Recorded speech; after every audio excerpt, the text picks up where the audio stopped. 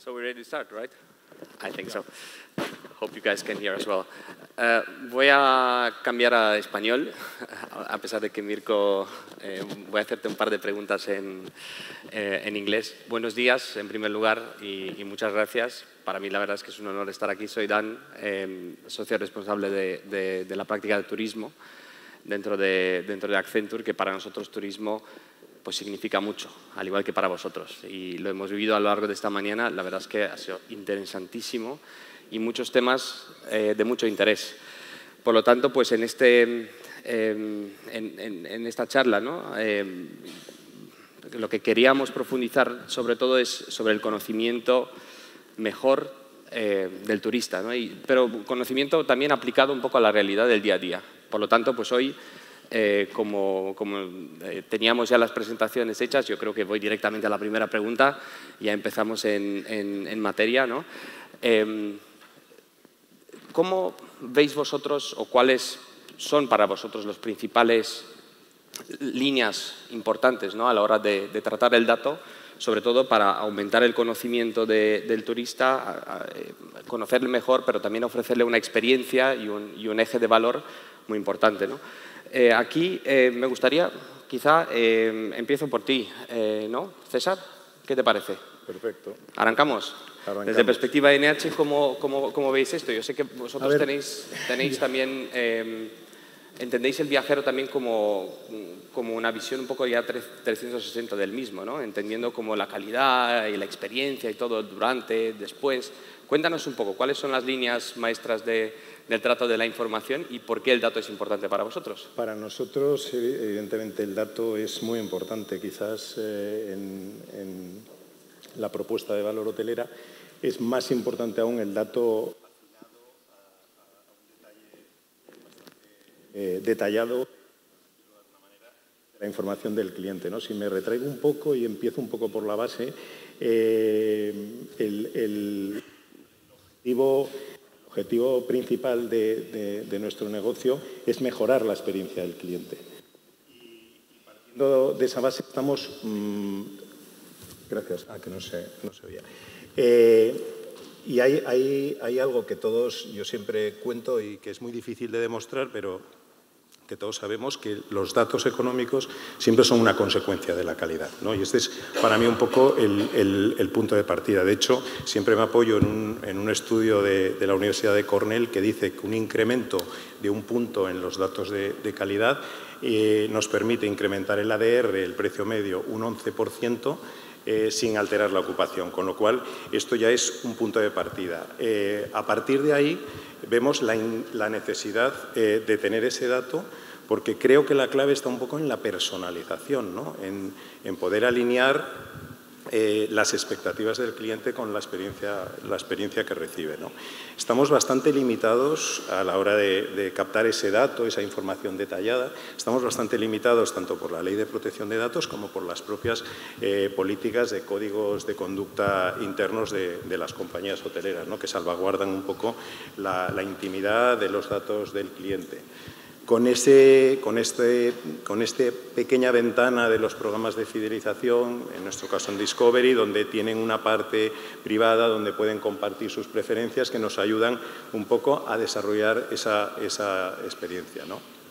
De ahí eh, que si, nos, si, nos, si, si, seguimos, si seguimos avanzando un poco en, la, en, en este proceso, eh, es importante que consigamos eh, tener toda esa información para eh, poder darle esa experiencia eh, adecuada. ¿Qué pasa? Que tenemos que buscarnos siempre, en mi mente siempre tengo esta, esta, filosofía de que siempre se puede hacer algo más.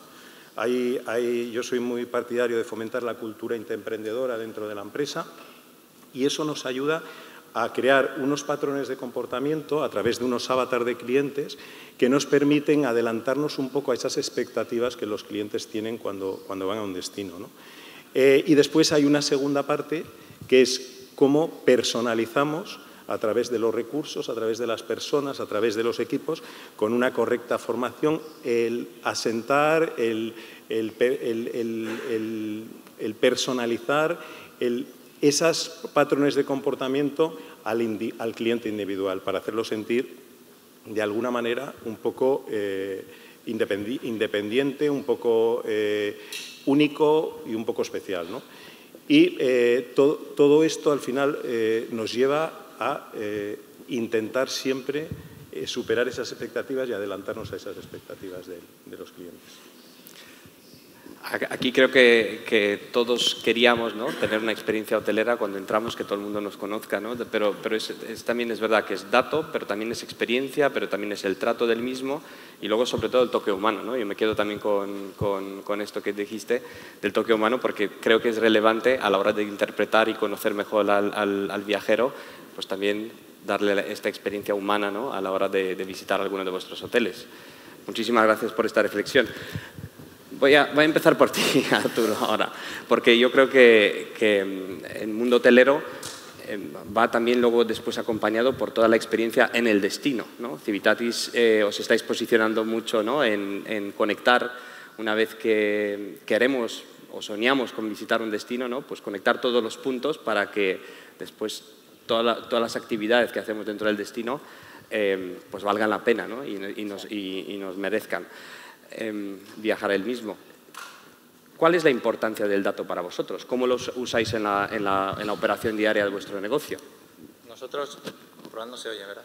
Em, somos una compañía, lo que dicen, eh, nativa digital, startup o ya scale-up. Eh, entonces, la utilización del dato está desde el principio, la compañía la fundó un desarrollador eh, con lo cual, la, utilización y la explotación del dato para, para, ofrecer un mejor servicio a los clientes está en la base fundacional de la compañía. Em, Civitatis es el líder en la distribución online de tours y actividades en español. nosotros em, lo que hacemos es eh, guiar al cliente hasta encontrar lo que muchas veces es el propio motivo o la razón del viaje, ¿no? Tú, pues, siempre decimos que te quieres ir a Tailandia o a Roma o a Nueva York, pues para, para ver y hacer las cosas que, hay que hacer en, todos estos destinos, o te quieres ir a, a descubrir eh, Galicia o, venirte a Benidorm, ¿no? Em, entonces, eh, el reto para nosotros es que nuestro cliente es, online eh, siempre y em, digamos que la búsqueda por los destinos es un espacio muy competitivo, con lo cual acertar eh, entendiendo qué es lo que los clientes están buscando para ofrecer en una, pequeña ventana de interacción que tenemos con él la mejor selección de tours y actividades que ofrecer, eh, pues eh, es crítico pues para, pues para satisfacer esas necesidades de ese cliente que nos está visitando.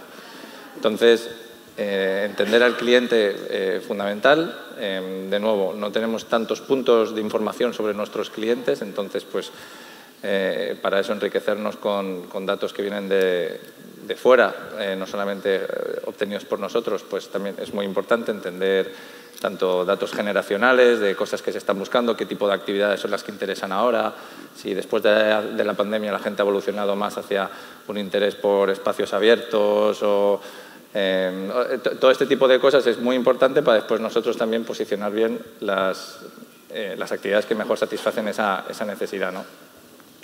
Eh, estudiamos em, opiniones, las opiniones que nos dejan nuestros propios usuarios, pero también pues hay, eh, hay reseñas online que, que, van quedando por ahí que nos ayudan también, de nuevo, siempre con el objetivo de ofrecer la mejor selección de eh, cosas que hacer en el destino para nuestros, para, para nuestros usuarios. Entonces, importancia crítica para pues para personalizar esa, esa experiencia y dar a cada uno lo que está buscando ayudar en la excelencia operativa. Me gusta mucho también eh, lo que mencionaste, ¿no? siendo un, un, entorno más startup scale-up, digamos, pues quizá tenéis más libertad ¿no? a la hora de aprovechar toda la riqueza de la información ¿no? para personalizar vuestros productos, vuestros servicios. Por lo tanto, yo creo que es un entorno muy, muy interesante. Pasamos ahora de lo más específico, quizá, a una cosa un poco más generalizada, pero me, lo decías antes, Alberto, ¿no? yo le voy a decir en mis palabras, seguro que tú vas a profundizar mucho, mucho mejor luego en, en, ello, y es una reflexión muy válida, es verdad. Si hay alguien que me conoce como soy como ser humano, es mi tarjeta de crédito, es verdad.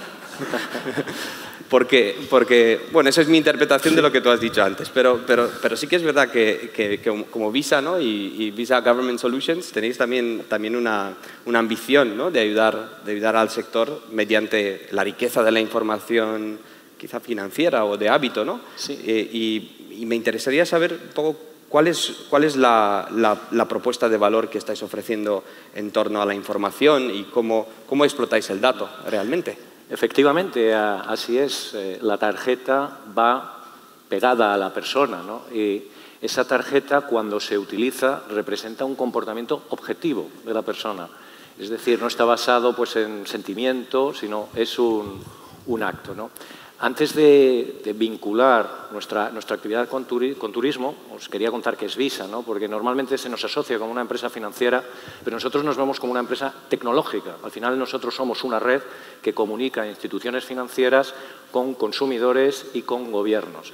Estamos hablando de que en nuestra red hay más de 15.000 instituciones financieras, hay más de 100 millones de localizaciones en el mundo que aceptan nuestra tarjeta y más de 3.000 millones de titulares de tarjetas Visa. Os podéis imaginar esto la cantidad de datos que genera en una base, en una base diaria. Aproximadamente 232 trillones de transacciones anualmente. ¿no? Y todo esto con una de las redes de comunicaciones más seguras, más robustas, de mayor disponibilidad y probablemente más resilientes, porque es lo que los stakeholders esperan de esa, de esa red, una red con absoluta, con absoluta disponibilidad. Esa disponibilidad genera confianza y esa confianza genera uso y utilización de este instrumento de, de pago. ¿no? Y un instrumento de pago que se utiliza para pagar y ser pagado genera confianza en ambos extremos de la, de la cadena. ¿Cómo se relaciona esto con, con, turismo? Pues evidentemente, como estamos hablando de aceptación en múltiples países, no lo he nombrado, pero son cerca de 200 países en los que se acepta la, la tarjeta de, de, Visa. Aquí cuando hablo tarjeta, vedlo como una tarjeta física o podría ser en el móvil, ¿no? dependiendo, hablaremos de credenciales de, de, pago, pero en fin, medio, medio, medio de pago. Hablamos de 200 millones. ¿Qué es lo que nosotros vemos? Pues el movimiento que esa tarjeta hace por ir precisamente pues, adherido o pegado a la, a la persona. ¿Y esto qué implicaciones tiene en turismo? Pues tremendas, por los datos que se generan. Datos tales como de dónde viene ese, ese turista, dónde, cuánto gasta, dónde, dónde gasta, con qué velocidad gasta, es en definitiva, toda la explotación y análisis que queramos hacer de esos, de esos datos. Recientemente, aunque nosotros no somos propiamente una empresa de datos, aunque sí generamos datos, hemos pensado que, esta, que, esta, que estos datos, desde luego, podrían tener un impacto relevante para los, para los gobiernos, gobiernos en sentido también amplio, ¿no? Porque nos permite, desde luego, conocer mejor esa actividad turística y contribuir a su, fomento. Y esto, en definitiva, creo que es bueno para, la sociedad en su, conjunto. ¿no? A su vez, la utilización de estos datos por parte de los eh, entes, entes, públicos y destinos, desde luego puede permitir una mejor planificación de las, de las, infraestructuras turísticas, porque empiezas a conocer ese fenómeno complejo y tienes métricas para poder actuar sobre esos componentes y luego, desde luego, ser capaz de ver su evolución en el tiempo de, ese, impacto. ¿no? Desde luego, otra capacidad es la de poder compararse con otros destinos similares, es decir, cómo lo estoy haciendo, porque está muy bien el dato, pero el dato manifestado de manera absoluta pues te puede dar una indicación, por así decirlo, vertical, crezco, decrezco, pero cómo lo están haciendo otros, otros destinos. Y a partir de ahí, ser capaz también de extraer esas mejores prácticas si eso, si eso es, es posible. Luego yo creo que también hay un aspecto importante cuando hablamos de gestionar con datos, que eso genera también mayor transparencia, mayor transparencia de estos destinos pues para atender pues, a cualquier requisito que pueda haber sobre cómo se está desempeñando ese, ese destino. ¿no? Y esto yo creo que cada vez más es una exigencia que los ciudadanos hacen a sus, a sus gobiernos, el de, el, de esta, el de esta transparencia. Y por último, eh, y vinculado con, con turismo, eh, estamos, nosotros pensamos que la utilización de medios de, de, pago también facilita una mejor gestión del, del, transporte público, porque es cierto que no hay nada más engorroso que cuando un turista llega a una ciudad o bien tenga que utilizar moneda local si no, si no la tiene, o bien a lo mejor tenga que utilizar pues, algún tipo de, tarjeta que tiene que adquirir ad hoc para, poder coger ese, transporte público. Con el uso de medios de pago universales, pues mejoras la, experiencia del turista porque le facilitas el transporte, el transporte dentro del destino, un transporte público y contribuyes de manera indirecta, desde luego, a la sostenibilidad medioambiental del, del mismo. A mí me has convencido, vamos, yo creo que, a ver cómo explico yo en casa ahora que me conoces más que, que, mi mujer. Pero bueno, eso es para otra, otra conversación. Eh, Mirko, my friend. I'm sorry to switch to English. No worries, no worries. Thank you for... for I can for speak Spanish. If you want, I can speak Italian. But...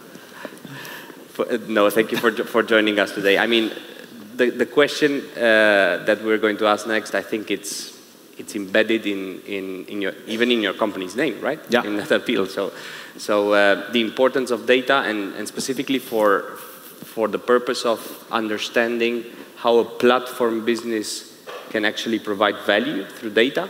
I think that, that, that element is, is, is quite interesting uh, specifically for the, for the audience to understand. So tell us, what, what, what is the importance of data, although it's quite generic, for, for a company such as yours? Yeah, I mean, it, it's, it's in the name of the company. So I remember uh, a recent research from Forrester where it says that only 27% of all available data are actually used by companies. And uh, I mean, they are referring to companies. So I cannot imagine how much data destinations and uh, the government uh, uh, they actually using. So there is a huge a vast amount of uh, opportunities and possibilities that you can open just uh, using data. The company exists, uh, we born as a startup, like you said, in 2014, so we are nine years old. And uh, the reason why we started the company is because we wanted to simplify and democratize the usage of data. What, what does it mean? So simplify is, it's, it's in the word. So we want using technology. We started using AI even before AI became fancy, like today. Today, everybody's talking about AI, but we started using AI since the beginning. And uh, we want to use technology to simplify data uh, in two ways. First, tell us why. Why something is happening. This is the first step of analysis. So when you have just data, you need somebody able to understand uh, what those data mean. So if you use technology and you are able to understand why something uh, is happening, it just uh, help you to take better decision straight away. Second, uh, prepare you for next. So you're having data, you are able to make uh, forecast for the future, for example, or you are able to understand uh, what is the best move, not on your gut, but based on uh, actual data. And uh, we want to do that in an industrial way, using technology, and mostly in an automated way. And uh, uh, just to finish, we are the only company in Europe that keeps together three big dimensions. Location data, so we have, uh, I mean, every single point of interest uh, in the world, keeping granular data. This seems uh, a little things, but it's important because uh, we can aggregate data in uh, any dimension that you need. A destination, a territory, a brand, uh, a category, and even a cross-reference together. So if you want to understand, for example, the four-star hotel in Benidorm sold by German people, if you do not have granular data, it's, I mean, or if you have not engineered data for this type of analysis, it's maybe not so simple. Second, we have perception data. Uh, of course, we use extensively artificial intelligence, natural language processing uh, to understand what people think about something. And of course, for the tourism that is made by perception is uh, a key crucial data. And the third point, uh, we uh, work as a hub for third-party data. And uh, keeping all together, we are able to derive uh, proprietary KPI to understand, for example, sustainability. I mean, I, in the last three years, I think I participated to, I don't, I don't remember the number of events all around the world, and uh, there is no single event where the word sustainability was used a lot, really a lot. And uh, how do you measure sustainability? Sustainability is not only, of course, is not only the environment. So it's a tricky way to measure sustainability and uh, it's not easy. We are trying to find a way using a big data approach, uh, crossing together hundreds of different sources, including satellite data, and could be, I mean, even a way to have an objective way for measuring sustainability and not just fill it up a form like most uh, certification are uh, on obtaining a, a, green something. So just to summarize, using data is not crucial. It's to, in the today economy, it's, I mean, it's like not using a computer 20 years ago. So it's becoming part of your daily activities and uh, uh, cannot be ignored. I, uh, the, the, point around sustainability, I liked it very much. Yeah. And, and, and the measuring, we will touch upon it uh, uh, now. But thank you very much for, for, for the introduction. My next question, it's a generic one. I will do it in English, but then afterwards we will get into, a, uh, hopefully, into a, a, very pleasant debate um, around the, the second topic. It's around the benefits for, for, for the destination. So how do you guys see specific benefits that can be applied today, um, given your, your, your, your background and given specifically the usage of data, how can a destination benefit from, from, from the usage of data? I don't know who wants to start. Yo mismo. A ver, yo sí que eh, considero, eh, nosotros dentro de, los hoteles siempre decimos, si eh, miras tus resultados de calidad y estás por debajo de 8, no existes, o de 80%, ¿no? Entonces yo creo que esa, esa recopilación de datos, esa, esa en, en, lo que respecta al, al negocio hotelero, ¿no? El, ¿Cómo beneficia al destino? Pues eh, evidentemente cualquier destino, aunque hay muchos más eh, factores que influyen, eh, como comentábamos, pues, factores políticos, socioculturales,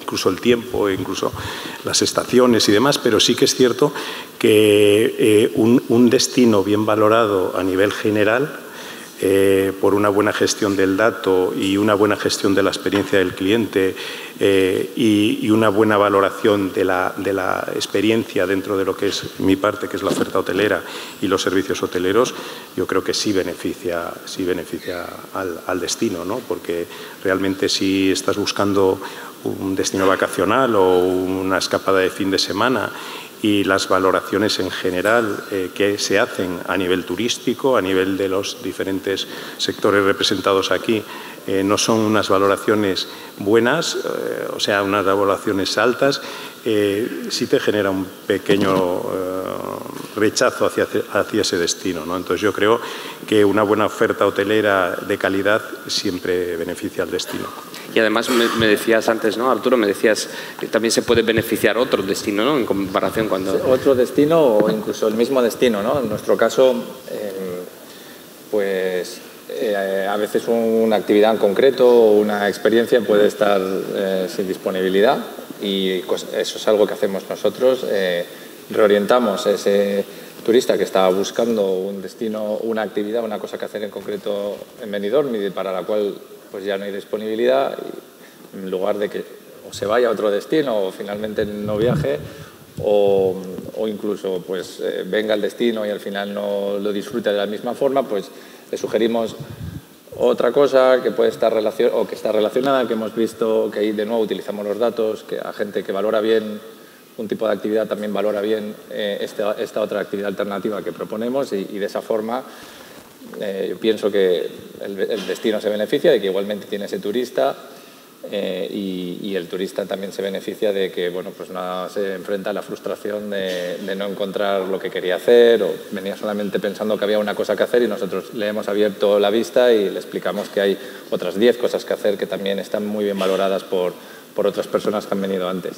Y totalmente de acuerdo con, con el tema de, de, las opiniones. Nosotros eh, trabajamos mucho los proveedores con los que trabajamos y encontrar destinos donde la experiencia es, es mala, eh, por, que puede ser por un conjunto de razones, desde eh, relacionadas con la sostenibilidad, desde que pues igual no, no, es fácil moverse por la ciudad eh, para, en, un grupo o en una, o en una excursión, em, los horarios no se respetan, nosotros inmediatamente todos esos eh, proveedores abandonan la plataforma y, es muy importante, nosotros lo trabajamos porque nos interesa, pero también es verdad que es muy interesante a nivel de destino asegurarse de que las principales eh, grupos hoteleros o, otras de excursiones y, experiencias, pues, bueno, pues eso, que, los destinos estén bien posicionados, porque muchas veces en, en, algunas em, plataformas donde quizás el inventario está abierto, pues hay destinos que tienen malas calificaciones y, puede tener que ver con, con, una falta de cuidado del inventario que,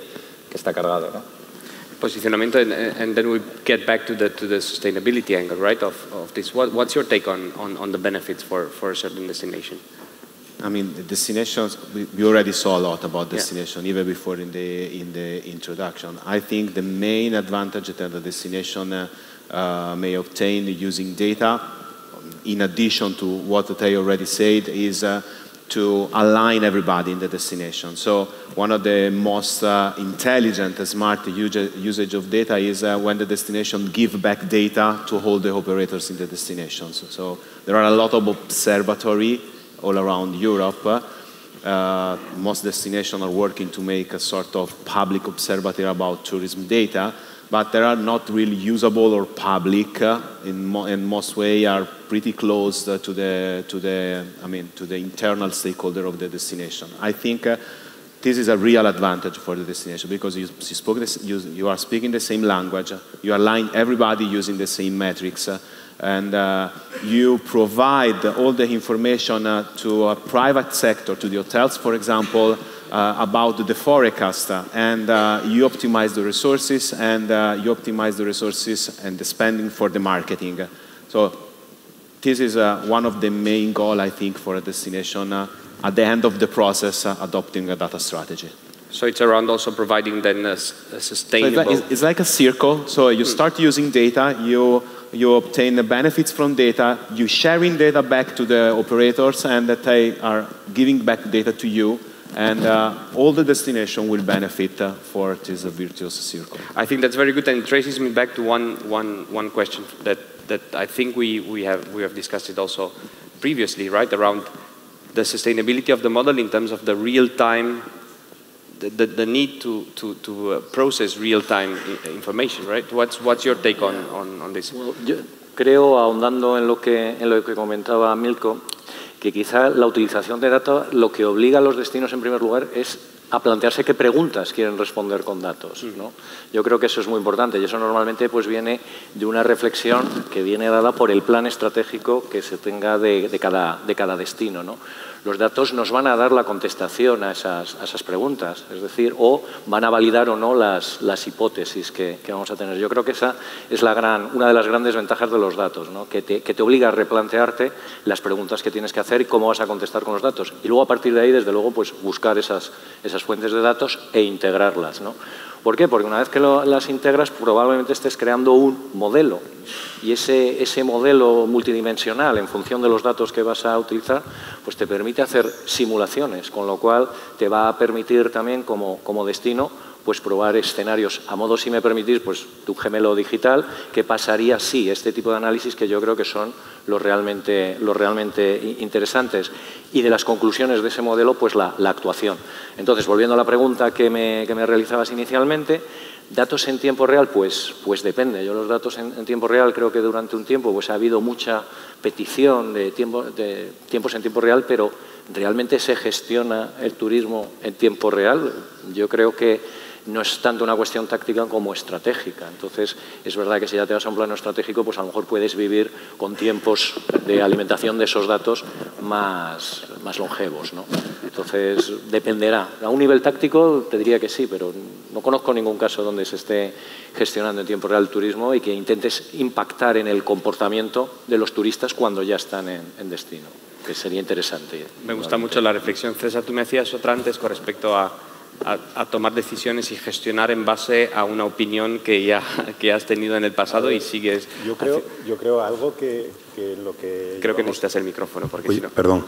Algo en lo que llevamos trabajando mucho tiempo es que cada vez queremos tener más información y más reciente, ¿no? Entonces, eh, los datos tienen que ser actuales porque, eh, por, lo menos en la parte de, datos de clientes, a nivel de opiniones, a nivel... Eh, los datos caducan a nivel de, la evolución que, puede tener el producto en ese tiempo. ¿no? Nosotros ahora lo que estamos trabajando, y creo que es importante, es en una encuesta in-state survey. O sea, cuando el dato que tenemos de información del cliente, de su experiencia de uso de un establecimiento, es un dato forense, es un dato pasado. O sea, puede, te permite crear eh, eh, planes de acción de mejora, sí, te permite eh, poner soluciones, sí, pero ya, no, ya, has, ya lo has hecho mal con ese cliente. Entonces, nosotros sí que estamos trabajando e implementando cada vez más el dato real de información sobre las experiencias del cliente en el momento que lo está recibiendo, que te permita eh, poder ejecutar alguna acción, alguna, incluso simplemente una disculpa antes de que el cliente se vaya del hotel. Entonces, quiero, eh, hablo de dato a nivel de, información de experiencia, ¿no? pero yo creo que, es, y además eh, también muchas veces cuando analizamos hay que ponerlo en, en perspectiva, ¿no? Eh, cuando analizas un destino como destino y miras las valoraciones de calidad, hay que ver que esas valoraciones sean actuales, porque a lo mejor están impactadas por diferentes factores, como puede ser un, temporal, como puede, en un momento determinado. Y eso, eh, sin los filtros adecuados, te hace tener una mala imagen o una mala información de un destino o de un hotel cuando en realidad ese problema ya está resuelto. Entonces, yo digo que, las, de hecho, las, eh, Review Pro, que es la herramienta con la que trabajamos nosotros, sí que eh, tienen pesos muy diferentes las, las, valoraciones más recientes. Entonces, yo creo que, es importante eh, estar conectado en tiempo real con los, con los clientes cuando están utilizando los servicios que le estamos ofreciendo. Eso te permite esa parte que, yo creo que es importante en los momentos que estamos, que es la personalización, ¿no? El decir, yo ahora es cuando tengo frío en la habitación, no cuando me vaya que he pasado una, semana mal porque no he tenido la temperatura adecuada, ¿no? Si ahora tengo frío y lo puedo transmitir y me escuchan y me dan respuesta, mi, percepción será buena, mi valoración será alta y ese destino será un destino eh, que será atractivo para el resto de clientes, que al final es conversión y incremento de revenue. Y bien valorado, en, el fondo. Em, como mm, cerrando un poco ¿no? la, idea de, digamos, de, este, de esta parte era entender cómo estáis aplicando el conocimiento del, viajero y sobre todo cuáles son las métricas y el análisis de datos y para qué sirven. Yo creo que hemos, hemos tenido muchos, muchos buenos ejemplos en esta línea aunque yo me he quedado personalmente con un poco más de ganas de, profundizar un poco más. Pero si, deberíamos concluir en una, frase, y os voy a dar paso a cada uno de vosotros, ¿con qué pensáis que se debería quedar nuestra audiencia de hoy? What's the, what's the claim or what's the conclusion, what's the take, takeaway that we all need to, to, um, to have today after, after this? Uh, so maybe I'm going to start with you. I, I, I think there are two points. First, I think it's our responsibility, so the people that are making our job, to allow destinations and the operators, even private operators in the tourism industry, to make more comfortable usage of data because technology is not a problem. Technology is helpful to reduce the fraction, nor it's not another addition or complexity. So it's our responsibility to simplify the, user, the usage of data and uh, allow everybody to uh, make sense of it. Uh, for the closing remarks, I would like to focus on sustainability. I think sustainability, and is our approach, uh, is not just the environment. So I think the, one of the, the uh, crucial priority for uh, every destination, especially in Europe, but not only in Europe, is to reach a sort of virtuous balance between the quality of life of the resident citizens uh, towards the quality of experience of the temporary citizens, like I call tourists. So this is the final goal of, the, of a destination uh, and uh, of a, a, sustainability strategy for a destination. Of course, the environment is part of it, mm. not only for tourists, as you can imagine, and uh, using data may help a lot to understand uh, what is working, what is not, uh, and what you can uh, focus uh, your uh, effort to change it in the future. Thank you very much. Voy contigo. Pues ¿En qué nos deberíamos quedar? Em, yo creo que antes de, de pensar en el, en, el, en, el, en el modelo de datos que necesitas, incluso en, la, en el esquema de compartición, es súper importante tener muy claro los casos de uso, o sea, para resolver qué, eh, qué- caso concreto. Eh, porque datos, yo creo, como decía Mirko, también datos y tecnología para procesar datos a muchísima escala, en tiempo real, análisis estratégico, un poco mirando hacia atrás. Incluso eh, pensando en España, en Europa, eh, el, skill para trabajar los datos y demás, o sea, lo tenemos todo. Yo creo que siempre que abordas un, proyecto grande de datos súper importante acotar eh, una serie de objetivos pero concretos, porque si un objetivo es muy amplio, entonces igual te pierdes en, el propio análisis de los datos. Entonces, para mí, como a- acotar exactamente qué queremos hacer. Los datos son una herramienta ah, virtuosa, eh, como os comentaba hace un momento el ejemplo de lo que estamos haciendo para resolver el problema grande que tenemos, no un problema, pero un reto grande que tenemos eh, en el turismo. Sabemos que es un negocio de concentración, al final eh, unos destinos atraen la, la atención de muchísimas personas y dentro de algunos destinos algunas eh, atracciones concretas y a nosotros los datos nos ayudan a, repartir eh, en base a ocupación, pero con un objetivo puede ser en base a una medición, una métrica que desarrollemos de sostenibilidad y, el mundo está lleno de cosas eh, eh, preciosas que descubrir y que algunas han permanecido más tiempo ocultas. La, pandemia, por ejemplo, mirando nuestros propios datos,